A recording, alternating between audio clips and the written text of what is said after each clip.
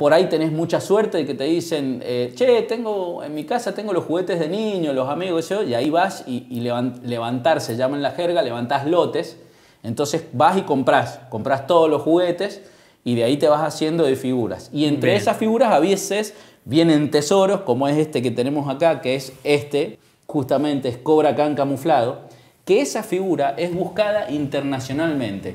Eso es una réplica, no es la figura original.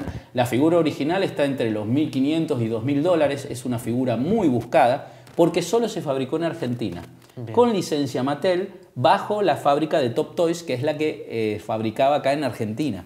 Entonces, ¿qué pasa? Los coleccionistas de todo el mundo lo buscan. Bien. Eso es un dato.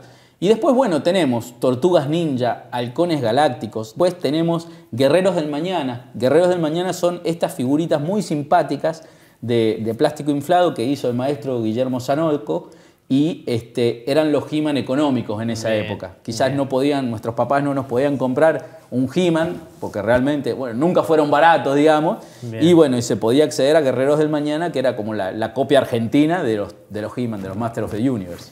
Bien. Me decís desde los 11 años que yo... Eh, que soy coleccionista. Que sos coleccionista. ¿Cómo empezaste? ¿Cómo, cómo, Mira, fue eso? Eh, dicho por desgracia, soy hijo único. Tenía una hermana que falleció, pero después quedé solo.